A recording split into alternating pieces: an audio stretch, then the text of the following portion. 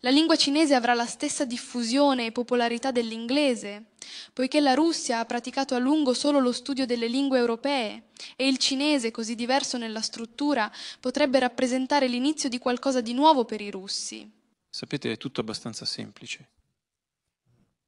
Eh, l'interesse per una lingua, eh, la sua diffusione nel mondo dipende dal ruolo del paese che essa rappresenta e in vari campi diversi. Questo riguarda ovviamente la storia e la cultura, ma alla base dell'interesse per la lingua c'è soprattutto l'economia. Si sviluppano naturalmente.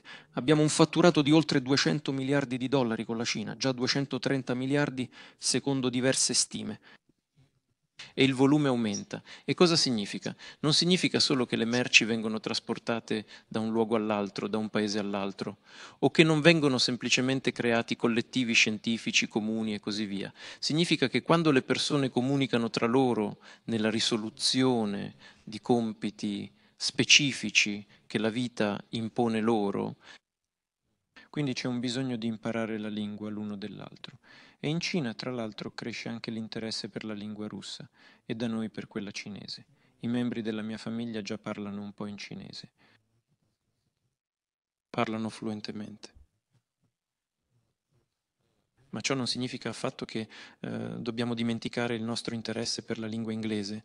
L'inglese è una grande lingua, eh, ha dato molto all'umanità in termini di unificazione della conoscenza, unione delle persone nel campo della cultura e così via. Non, rinuncia, eh, non rinunciamo a nulla, non abbiamo lingue ostili, non abbiamo nemmeno nazioni ostili, abbiamo elite ostili in alcuni paesi che combattono contro la Russia da secoli da secoli, non solo adesso, con l'obiettivo di indebolire il paese perché pensano che sia troppo grande. Um, sono minacciati da un paese così grande come la Russia, con, uh, cercano di rallentare il nostro sviluppo, di soffocarlo un po' e forse anche più di un po'. Alcuni pubblicamente, capite, non sto inventando nulla, è scritto nei loro libri, negli articoli, pensano di dividere la Russia in parti separate ma con la Cina non abbiamo tali relazioni. E sia la Repubblica Popolare Cinese che la Federazione Russa sono alleati in tutti i sensi della parola. E soprattutto, naturalmente, nella forza eh, unificante dell'economia, cultura e legami umanitari. E la lingua è richiesta. E man mano che cresce l'economia cinese, cresce. Vi ricordo eh, che oggi, in base alla parità di potere d'acquisto, quindi per volume dell'economia, la Cina è l'economia numero uno al mondo. Al secondo posto c'è l'India.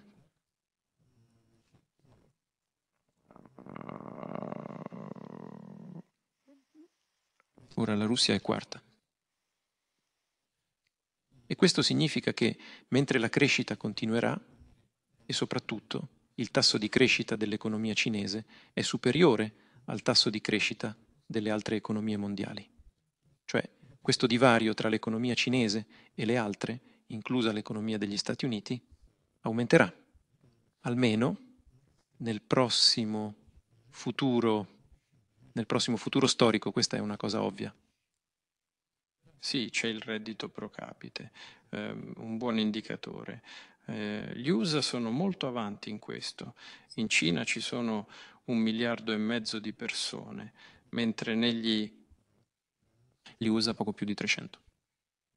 Il PIL pro capite negli USA è maggiore, ma l'intera economia della Cina è già significativamente più grande e il divario continua a crescere, pertanto l'importanza della lingua cinese aumenterà sicuramente. Ma pensando a questo non dobbiamo dimenticare il ruolo e l'importanza della lingua russa. Prima di tutto come lingua che unisce tutti i popoli della Federazione russa e in secondo luogo come lingua che aiuta nelle comunicazioni con altri paesi è la lingua della comunicazione internazionale, è una lingua eh, ufficiale dell'organizzazione, una delle lingue ufficiali delle Nazioni Unite. Più di 300 milioni di persone in tutto il mondo lo parlano e dobbiamo fare tutto il possibile per mantenere il suo livello e, su, e il suo status. sia all'interno del paese, sia con i nostri amici più vicini, con i vicini, con i nostri alleati. Prima di tutto, naturalmente, eh, lo spazio dell'ex Unione Sovietica, ma anche con i nostri principali partner e alleati, tra cui un paese così grande e promettente nel suo sviluppo come la Repubblica Popolare Cinese. Ma questo non significa affatto, vorrei tornarci sopra, che dobbiate abbandonare l'inglese. No, certo che no. Non oggi, anche dal punto di vista dell'economia. L'economia dei paesi occidentali è altamente tecnologica, è moderna e noi abbiamo ancora molto da imparare da loro. Senza dubbio c'è molto da imparare lì. I contatti non scompaiono davvero. Queste elite eh, al potere eh, cercano di isolare la Russia. È chiaro che non funziona, è ormai chiaro a tutti.